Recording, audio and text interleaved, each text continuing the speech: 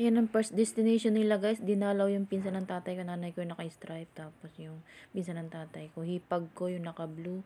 Ayan yung picture nila. Kuya ko yung naka-black.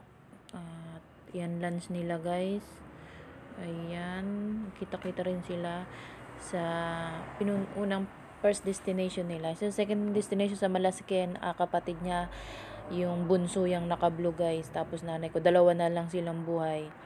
Tapos, third destination nila guys, yung swimming. Ayan, bago sila umuwi. Dumaan muna sila sa Dagupan, Tundaligan. Sarap kaya dyan maligo guys. Lawak ng ano ng beach dyan. Lakas ng alon. Ayan yung anak ko.